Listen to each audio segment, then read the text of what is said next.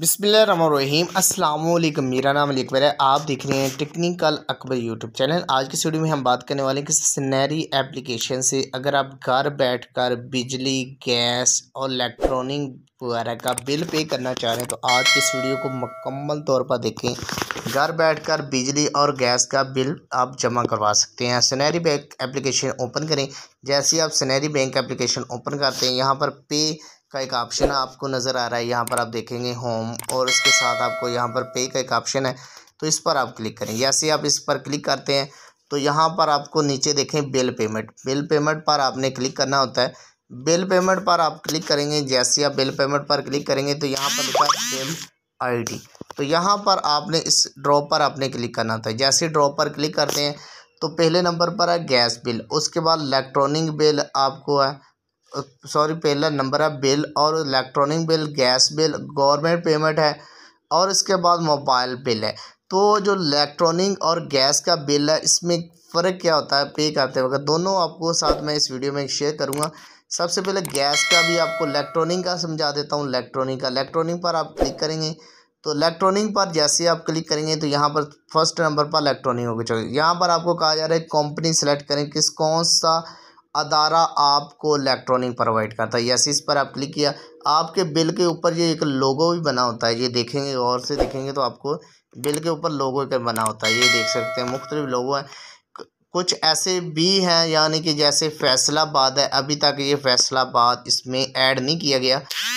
थोड़ी सी नई अपडेट के साथ आपके साथ ये भी ऐड कर दिया जाएगा। यहाँ पर हम पे करना चाह रहे हैं हमारे बिल के ऊपर जो लोगो बना है ये है तो हम इसको क्लिक करेंगे। यहाँ पर निक नेम आपने सेलेक्ट करना है, कोई भी आप सेलेक्ट कर सकते हैं, लाजमी नहीं कि बिल वाले लिख लें।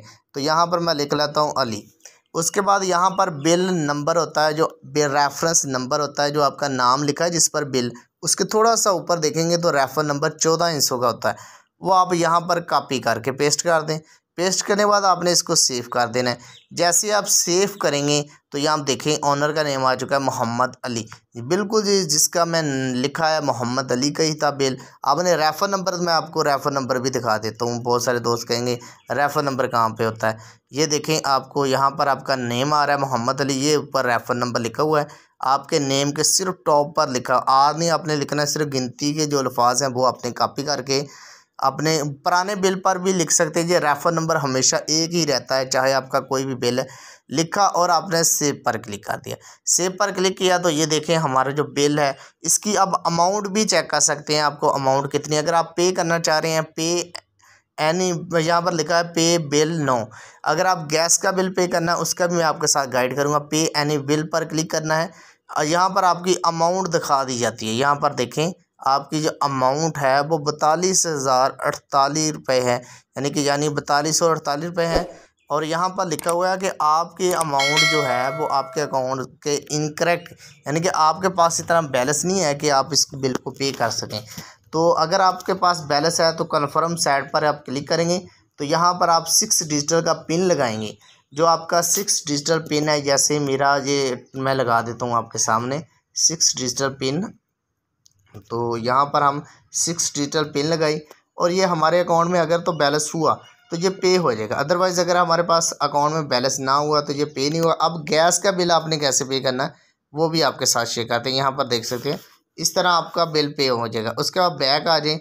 बैक आने के बाद फिर आपने वही मेथड सेलेक्ट करना है ड्रॉप पर और गैस के बिल को आपने सेलेक्ट करना है। गैस का बिल सेलेक्ट करेंगे, इसी तरह आपको कंपनी गैस के बिल की दो कंपनी हैं। दो ही अदारे गैस का इलेक्ट्रॉनिक प्रोवाइजन गैस प्रोवाइड करते हैं। जो अगर टॉप वाला है टॉप पर क्लिक करें निक नेम लिख लें, कोई भी आप लिख सकते हैं। N A D double E मैंने लिख लिया। उसके बाद रेफर आईडी आईडी नंबर होता है, जो आपने लिखना होता ये भी आपके बिल के ऊपर ही लिखा होता आईडी नंबर जिसे आईडी नंबर कहा जाता है। ये ग्यारह हिस्सों का होता है। जैसे ही आप सेव पर क्लिक करेंगे ऑनर का नेम आ जाएगा नीचे। यहाँ पर जैसे ही आपने सेव पर क्लिक करना है। तो यहाँ पर जो हमने सेव पर क्लिक किया तो ऑनर का नेम आ चुका है। मैंने ब्लीड का दिया। यहाँ पर पे बिल का ऑप्शन है वो ही सेम मेथड है। जैसे ही आपका सेम मेथड है ये देख सकते हैं ये आप पे कर सकते हैं। अगर आप इस साइड को आप क्लिक करेंगे तो जैसे ही आपने अपना सिक्स डिजिटल पिन लगाएँगे तो आपका बिल पे हो जाएगा।